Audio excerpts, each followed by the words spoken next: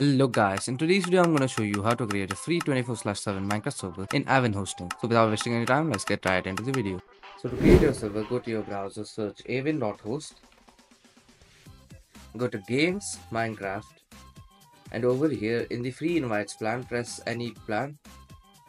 And after you join our Discord server, go to free server channel. After you reach the required invite amount, go to tickets, create a general support ticket and after you have created a ticket type slash invite.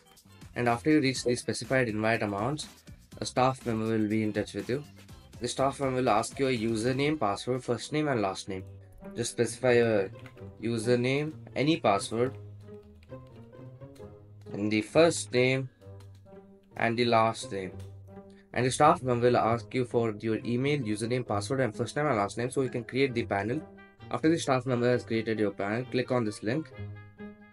Over here, type your username or email, and over here, your password. And after you've given your email and your password, press login. And after you're logged in, press on your server's name.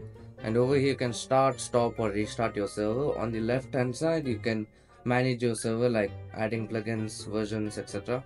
Press this to copy your server's address. And over here in the server address, paste your server address